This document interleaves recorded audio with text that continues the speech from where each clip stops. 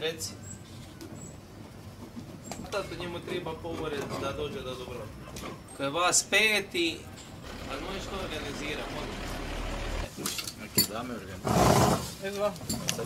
Dragi Korčulani i Korčulanke, dragi građani grada Korčule, evo ponovljeni izbori za gradsko vijeće.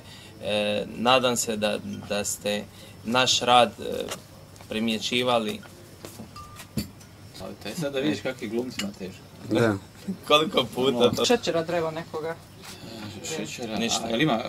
Aha, ima tu ništa, ništa. Samo Ne, ne ne, dobro, dobro, evo ima, vidim. Sve ima. Sve, sve. E, dragi građani grada Korčule, pozivam vas na izbore, izađite, zaokružite one ko- za koje smatrate da mogu nešto napraviti u ovom gradu, zaokružite nas, jednu mladu, pozitivnu listu, e, mlad perspektivan kadar koji može nešto promijeniti. Hvala. Znači, građanima uvijek treba dati ono što oni žele. Danas mnogi demonstriraju širom Hrvatske i ova vlada griješi, ulazi u sukob sa narodom i sa građanima.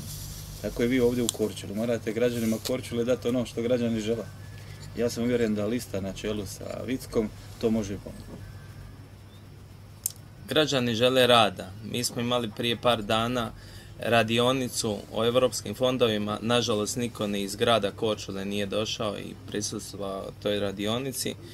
Ali e, jedan od osnovnih problema koje smo našli dvadesetak mladih ljudi koji su bili na toj radionici je zapošljavanje, prvenstveno zapošljavanje mladih, ali i zapošljavanje i razvoj.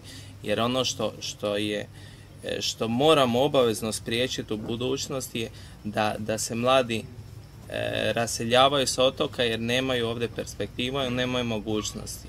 I onda nas je svake godine sve manje i manje i to se radikalno mora mijenjati.